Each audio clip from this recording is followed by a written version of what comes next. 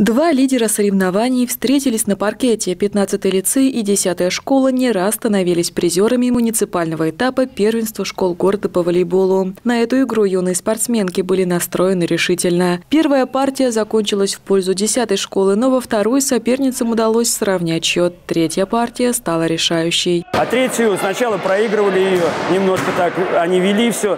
Потом немножко догнали, сравнялись, при счете 6-6 сравнялись. И девочки просто по увереннее. У одной девочки подача у нас не шла, а потом она решила почти всю, всю игру, и в концовке она решила ее. То есть у нее пошла игра, подача, и она сыграла достойно.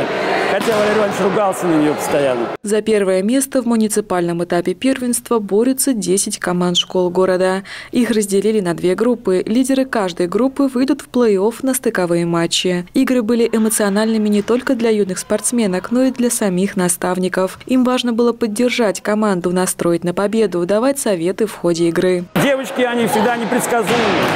С девочками очень сложно играть. Где-то надо похвалить их, где-то поругать надо.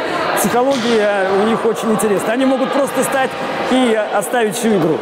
А могут просто играть и побеждать. Бывает, что старшим девочкам уже тяжеловато ходить. У них сейчас репетитор 11 класс и остальные девочки 9 класс. Вот так с трудом все получается. Но они стараются и вот видите результат на лицо. Победитель муниципального этапа отправится защищать честь города на зональные соревнования в Арзамас. Анна Пелепец, Евгений Шикарев, Сергей Рябов. Служба новостей Саров, 24.